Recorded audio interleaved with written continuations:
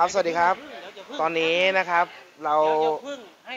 คุยกันให้เรียบร้อยก่อนอ๋อนะครับ ไม่ทันแล้วนะฮะไม่ทันก็ตอนนี้นะฮะที่ส.ใหญ่ยนต์จูนนิ่งนะครับ เรานะครับ เตรียมในเรื่องของอาอุปกรณ์นะครับต่างๆ ไม่ว่าจะเป็นในเรื่องของโปรแกรมนะครับต่างๆที่เราเตรียมไว้ support ในเรื่องของรถยนต์ที่จะเดินทางเข้ามาดูแลนะครับในเรื่องระบบของ ECU ก็ดีนะครับในเรื่องของ ECU เกียร์ระบบรถยนต์ นะครับ ตอนนี้ก็มีอาจารย์นะครับนี่ฮะเรามาดูในเรื่องของเสื้อก่อนเลยนะครับ ชมรมรวมช่างด้วยใจนะครับ มี Facebook ด้วยนะครับ ถือว่าเป็นชมรมที่ค่อนข้างใหญ่มากนะครับ เรามาทำความรู้จักกับอาจารย์นิดนึงนะครับ ว่าอาจารย์ชื่ออะไรเดินทางมาจากที่ไหนนะครับ แล้วเดินทางมาใหญ่ยนนี่วันนี้มีอะไรมาให้ใหญ่ยนเอาไว้เล่นครับสวัสดีครับอาจารย์ครับ ครับอาจารย์ชื่ออะไรครับอ่าผมช่างดอนปักช่องครับช่างดอนปักช่องอาหารหน้ามาสิครับ เดี๋ยวเขาไม่เห็นความหล่ออ่านะครับช่างดอนปักช่อง อาจารย์อยู่ในชมรมรวมช่างด้วยใจนี่กี่ปีแล้วครับอาจารย์ปีนี้ปีแรก ปีนี้ปีแรกปีแรกนะครับอ่าแต่อาจารย์อาจารย์ดอนนี่บทบาทในเรื่องของระบบรถยนต์นี่ก็ไม่ธรรมดาเลย ก็ไม่นะครับรู้ก็ทำมาเรื่อยทำมาเรื่อยๆนะครับอ่าวันนี้นะครับวันนี้มีอะไรมา ให้ทีมงานของสอยายนจูดิ้งได้ศึกษาบ้างๆก็วันนี้ก็มีโปรแกรมของ Mazda Ford แล้วก็ HDS ของ Honda ครับแล้วก็ GDS 2ของ Chevrolet แล้วก็ Hack 2 Win ของ Chevrolet แล้วก็ของ Isuzu แล้วพ่วงด้วยคอนซัล3ของนิสสันของนิสสันครับนะครับ ก็เป็นอ่าระบบโปรแกรมครับ อย่าง HDS ของ Honda นะครับครับอาจารย์ใหญ่มาด้วยครับอาเชิญสวัสดีสมาชิกทุกท่านนะครับ การจะเป็นนักรบก็ต้องอาวุธก็ต้องพร้อมนะครับยังมีลูกระเบิดเครื่องบินรถถังต้องพร้อม การทำงานของสอยายนจุดนิ่งก็เช่นกันนะครับ เราจะอัปเดตโปรแกรมใหม่ๆ ตัวไหนขาดเราจะนำเข้ามาผ่านครูฝึกสอนของกลุ่มนะครับ จะแนะนำแล้วก็ จะฝึกสอนให้ทีมงานดังนั้นการทำงานทุกครั้ง ถ้าเราเครื่องมือไม่พร้อม งานจะช้า แต่ถ้าเราเครื่องมือพร้อม งานจะรวดเร็ว เพราะว่าในกลุ่มเรามีกลุ่มต่างๆ ที่ให้ความเอ่ออนุเคราะห์แนะนำช่างแต่ละท่านอยู่แล้ว เพราะฉะนั้นหน้าที่ของผู้ฝึกสอนจะให้ความรู้กับช่างทุกๆ คนนะครับที่อยู่ในกลุ่มของพวกเราก็ดี หรือนอกกลุ่มก็ดี ถ้ามีปัญหาโทรมาเราจะให้ความรู้แต่ ต้องให้กระชับนิดนึงนะครับเพราะว่าโทรศัพท์ทั่วประเทศเข้ามาแล้วต้องจ่ายงานแล้วก็ถามอย่างอาจารย์วีรพัฒน์อยู่โคราชอยู่ตรงไหน ผมบอกก็อยู่ใกล้ๆบิ๊กซีอย่างนี้เป็นต้นก็บอกว่าบอกเส้นทางให้ผมหน่อยบอกผม ผมบอกไม่เป็นหรอกครับว่าผมไม่ได้ขับรถ ให้เบอร์โทรศัพท์เสร็จท่านเจ้าของรถต้องโทรไปหาเจ้าของร้านแต่ละร้านที่เราแนะนำไป เพราะว่าจะมาถามผมว่าอยู่ตรงไหนทั่วประเทศเนี่ยผมไปไม่หมดนะครับ อยู่ข้างข้างบิ๊กซีอาจารย์วีรพัฒน์ที่ว่าเจ้าของรถเขาไปมาครั้งหนึ่งแล้ว แต่เขาจำไม่ได้เขาถามเส้นทางผมผมผมก็จำไม่ได้ เช่นกัน เพราะฉะนั้นการทำงานถ้าเรามาเครื่องมือพร้อมทุกอย่างนะครับ อย่างที่ว่าเราขาดโปรแกรมฟอร์ดมาสด้าก็ได้ทีมงานอาจารย์ปออาจารย์ดอนอนุเคราะห์ให้เราก็จะทำงานให้กระชับขึ้นให้รวดเร็วขึ้น อย่างเช่นหัวฉีดที่อาจารย์ปอเป็นครูฝึกสอนนั้น ทุกครั้งต้องปิดร้าน 3 วัน หรือ 4 วันเพื่อมาให้ความรู้กับสมาชิกเราดังนั้นเราน่าเห็นใจตรงนี้นะครับที่เสียสละให้กับสมาชิกทุกๆท่าน เพราะฉะนั้นหนักนิดเบาหน่อยก็อย่าไปถือสากันเป็นเรื่องเราไม่ใช่เด็ก ๆ แล้วเราโตแล้วนะครับ อย่างเช่นเกียร์ออโต้ก็มีอาจารย์ชัยวัฒน์อาจารย์เบนซ์อาจารย์ต่างๆ ให้ความรู้ เพราะฉะนั้นได้ความรู้ไปแล้วก็ไปปรับปรุงกิจการของตัวเองให้เร็วยิ่งขึ้น ให้ดียิ่งขึ้นรายได้จะเพิ่มขึ้น ตอนนี้กำลังโหลดโปรแกรมอยู่นะครับพอพอดีโฆษกพักใจร้อนนิดนิดนึงไม่ถาม ไม่ถามว่าโปรแกรมพร้อมหรือยัง อะไรพร้อมหรือยัง นึกอยากจะทำก็ทำงวดหน้าต้องถามก่อนนะอ้าวมอหน้าที่ต่อนะครับนะครับก็ เพื่อความรวดเร็วนะฮะเราก็ถ่ายกันเลยนะครับ เพราะว่าเราการทำงานต่างๆนะครับ ก็อย่างที่รู้ๆกันอยู่นะครับสำหรับสอยายนจูนิ่งนะครับ ก็คือทำงานต้องรวดเร็วกระชับนะครับ แล้วก็ต้อง one stop service นะครับ ต้องจบนะครับ ตอนนี้ก็โปรแกรมนี้ก็ถือว่าเป็นเคี่ยวเล็บอีกตัวหนึ่งนะฮะที่จะทำงานได้เร็วขึ้นนะครับ แล้วก็ในเรื่องของการอาอบรมนะครับ จากอาจารย์ดอนโคราช นะครับ วันนี้ก็เดินทางมาต้องปิดอู่ป่ะอาจารย์ปิดอู่เหมือนกันครับ ปิดอู่เหมือนกันนะคฮะรับ มีช่างคนเดียว มีช่างคนเดียวนะครับ แต่ตอนนี้ก็คือต่อไปนี้ก็คือไม่ต้องมาแล้วอ่าเพราะว่าสามารถมีระบบอินเทอร์เน็ตมา support ก็ต่อไปก็ TeamView นะครับอ่า TeamView กันได้หรือว่ามีเครื่องมือมาที่นี่ก็คือจัดการกันได้แล้วครับอ่าผมตอนนี้ก็คือ HDS ของ Honda อะเริ่มครับต้นแต่ตัวนี้การใช้งาน มันก็มีมาให้ให้เราใช้แต่ละตัวละตัวครับก็ตอนนี้นะครับก็มีอาจารย์ยงนะครับอาจารย์ยงครับทักทายสมาชิกหน่อยครับ ตอนนี้นะครับ มีอาจารย์ปองนะครับอาอาจารย์ปองทักทายสมาชิกนะครับ ตอนนี้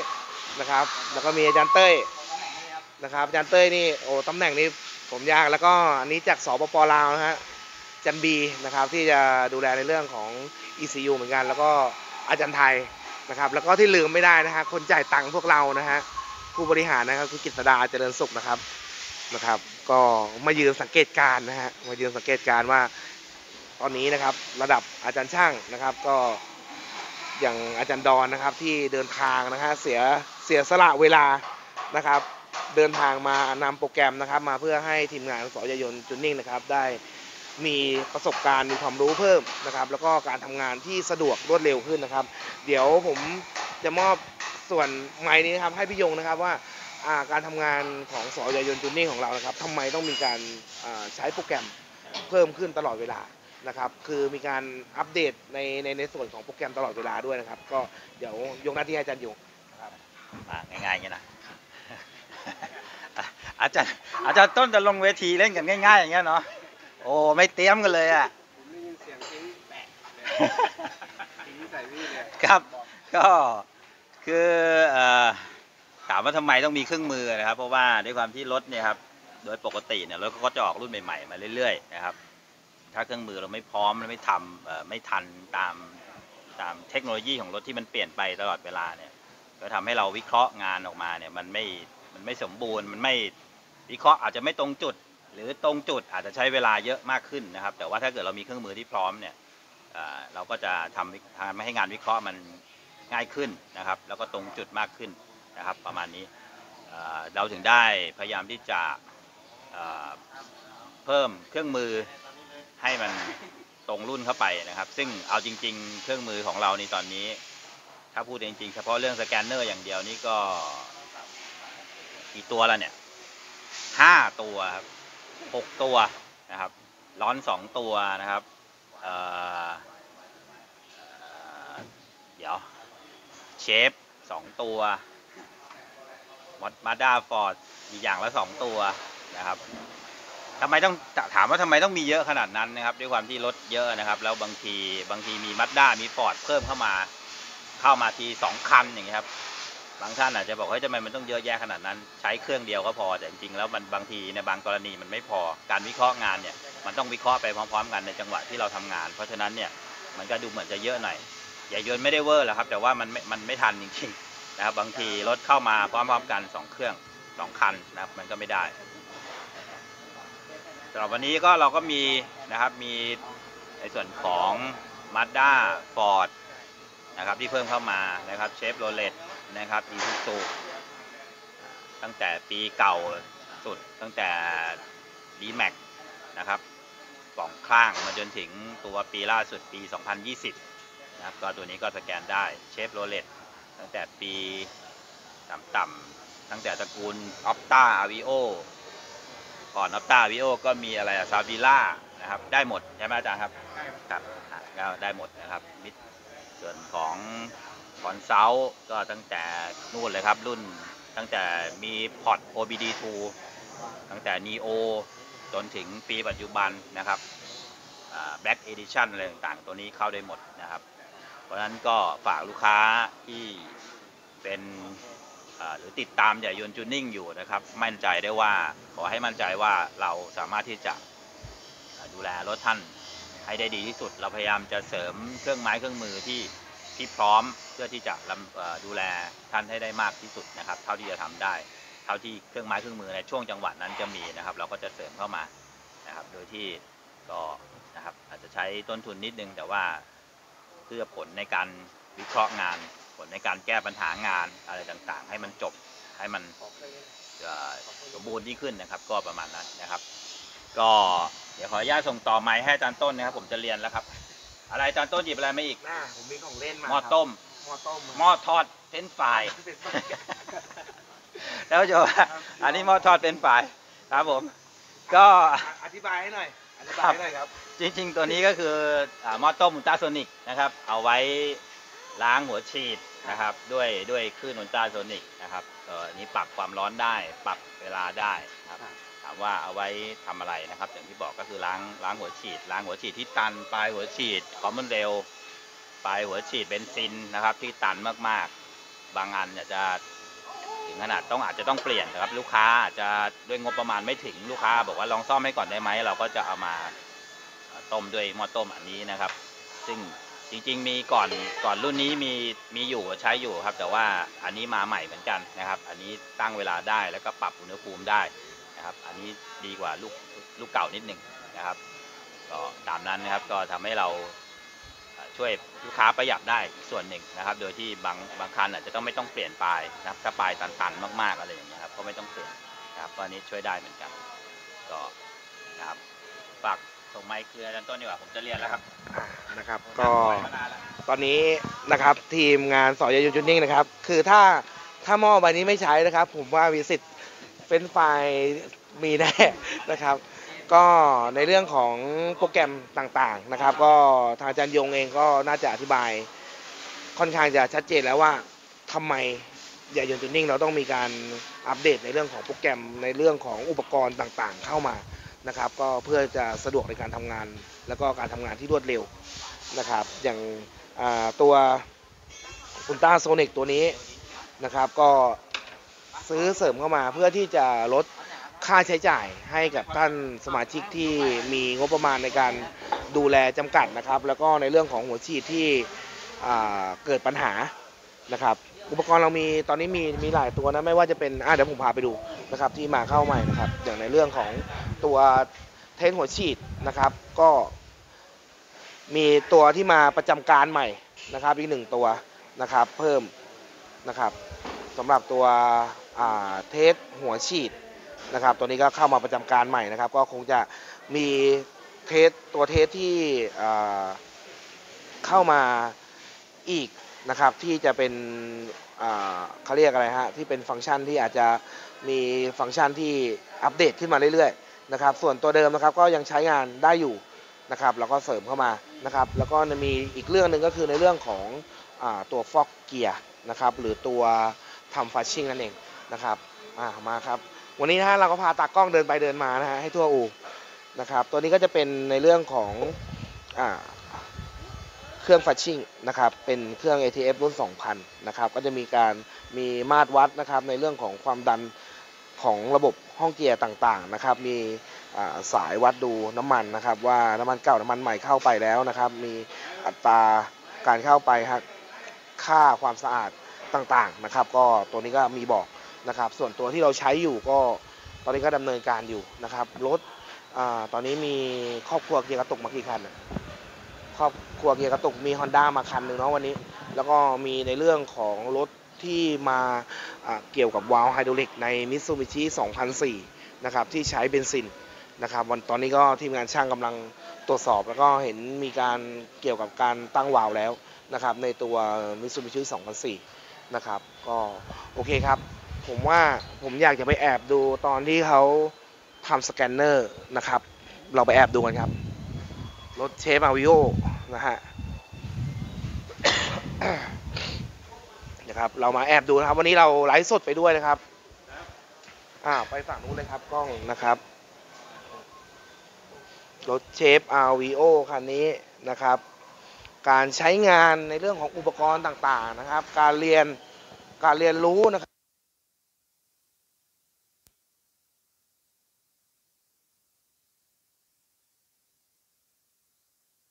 เราจะบอกว่าเราจะไม่แยกจากกันแฮ่นะครับ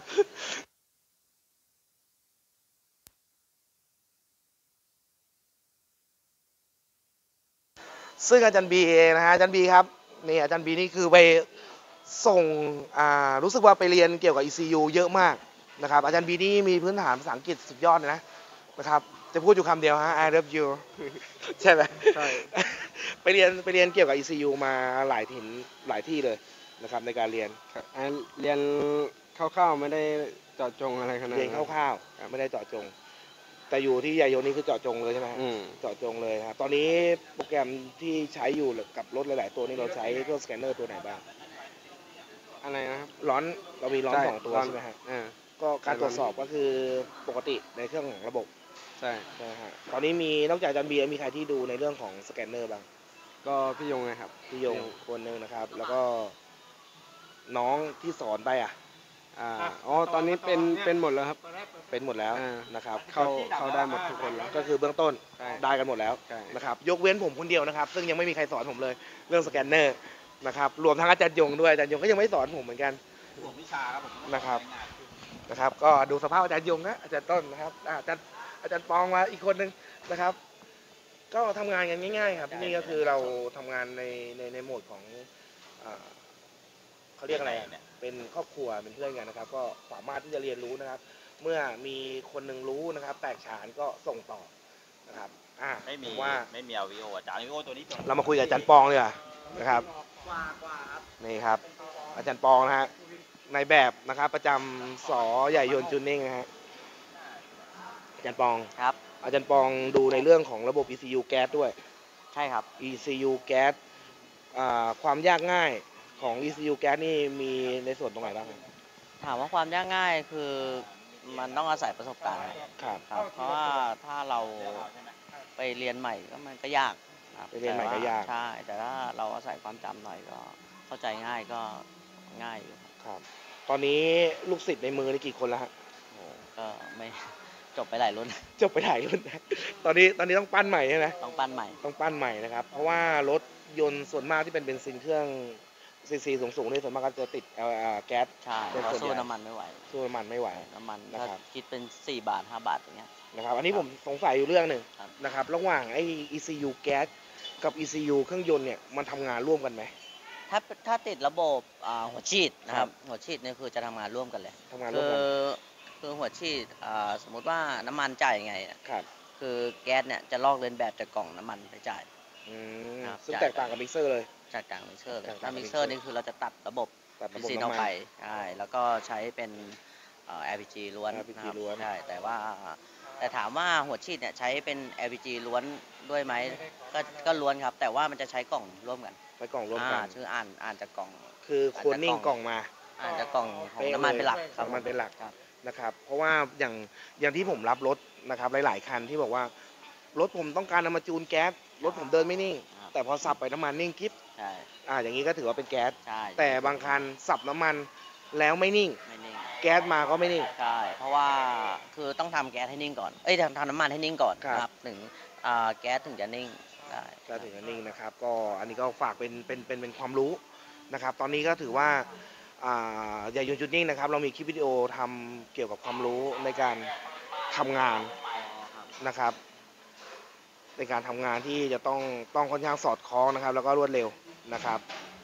อ่าโอเคครับเดี๋ยวขยับกล้องมาดูในส่วนของคอมพิวเตอร์ด้วยนะครับ แล้วก็ให้เห็นอาจารย์ดอนด้วยนะครับ เห็นทีมงานด้วยนะครับ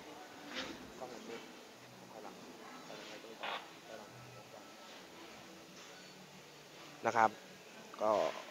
ในระบบรถนะครับที่มีโปรแกรมที่ต้องใช้นะครับ ไม่ว่าจะเป็นในเรื่องของรถรุ่นใหม่ๆนะฮะรถรุ่นใหม่ๆ โปรแกรมนะครับ ถือว่าเป็นเรื่องสำคัญมากสำหรับอู่รถยนต์สำหรับสำหรับรถยนต์นะครับ โปรแกรมนี่ถือว่าสำคัญมากนะครับ เพราะว่าการตรวจสอบรถก่อนที่จะลงมือซ่อมนะครับ ไม่ว่าจะเป็นเรื่องของสแกนเนอร์ ในเรื่องของอโปรแกรมต่างๆ ที่เข้าไปตรวจสอบนะครับ ก็ถือว่าสำคัญมากนะครับ ทุกวันนี้นะครับก่อนที่จะซ่อมนะครับรถยนต์นะครับที่เป็นรถรุ่นใหม่ ๆ นะครับสแกนเนอร์หนึ่งเลยนะฮะสแกนเนอร์แล้วก็โปรแกรมในการตรวจสอบหาข้อบกพร่องของรถยนต์นั้นๆนะครับ ถือว่าการทำงานก็จะเร็วขึ้นนะครับ เมื่อเราเจอจุดคือชี้เป้าได้ง่ายขึ้นนะครับ ชี้เป้าในการดูแลรถง่ายขึ้น หรือว่ารถมีข้อผิดพลาดผิดปกตินะครับ โชคอ่าโค้ดต่างๆ ที่ขึ้นในหน้าปัดรถนะครับ นั่นก็คือตัวที่บอกนะครับ อย่างเชฟนี่ที่ผมเจอมาหลายคันนะครับ ที่ขึ้นเข้าเซฟโหมดแล้วก็มีปัญหารถไม่สามารถวิ่งต่อไปได้ ต้องจอดรถเป็นชั่วโมงนะครับ เพื่อที่จะทำการสตาร์ทใหม่แล้วหลังจากนั้นก็วิ่งได้ไม่เกิน 60กิโลเมตรต่อชั่วโมง นี่ก็คือปัญหาของอา ECU นะครับ ซึ่งโค้ดเตือนมาแล้วนะครับว่าเป็นอะไรครับแต่ก็โชคดีของเชฟโรเลตนะครับ คนที่ใช้เจ้าของเชฟโรเลตนะครับ ที่เจอปัญหาแบบนี้ก็สามารถโทรมาปรึกษาที่ส.ใหญ่ยนต์จูนนิ่งได้นะครับ เดี๋ยวเรามีเบอร์โทรให้ด้วยนะครับ ก็สามารถโทรเข้ามาปรึกษาได้เลยนะครับ เรามีอาอาจารย์ยงนะครับ อาจารย์บีนะครับ อาจารย์เต้ยนะครับ อาจารย์ปองนะครับที่สามารถ ไขข้อสงสัยต่างๆได้นะครับ วันนี้ก็ต้องขอขอบคุณอาจารย์ดอนโคราชนะฮะที่เดินทางนะครับ เสียสละเวลานะครับ เสียสละเวลาแต่ไม่เคยมีของฝากติดไม้ติดมือมาให้พวกเราเลยนะฮะนะครับ อันนี้มีแซวนิดนึงนะครับของโคราชอร่อยด้วยนะฮะเขามีอะไรนะโคราชของกินโคราชมีอะไรบ้างนะครับ ก็เป็นงานแซวเล่นนะครับ เพราะว่างานงานดีเทลงานลักษณะโปรแกรมนี่จะค่อนข้างเครียดมาก นะครับ ต้องใช้ความสามารถต้องใช้ในเรื่องของความจำนะครับ พร้อมทั้งการแก้ปัญหาในจุดต่างๆ ในโค้ดต่างๆนะครับ ว่าโค้ดตัวนี้นะครับจะบอกอาการเกี่ยวกับอะไรนะครับ เราก็ต้องเข้าไปตรวจสอบนะครับ ดูค่าต่างๆในแต่ละตัวนะครับของโปรแกรมนะครับ ก็อันนี้ก็ถือว่าเป็นเขี้ยวเล็บที่เราเสริมขึ้นมานะครับ เพื่อที่จะประหยัดเวลาให้กับท่านสมาชิก ที่นำรถเชฟโรเลตมาด้าฟอร์ดเข้ามานะครับ เราสามารถตรวจสอบให้นะครับ หรือว่ารถมีปัญหาก็สามารถโทรเข้ามาที่สอยายนจุดนิ่งได้เลยนะครับ เรามีทีมช่างนะครับ เพื่อไขข้อสงสัยให้กับท่านสมาชิกทุกท่านนะครับ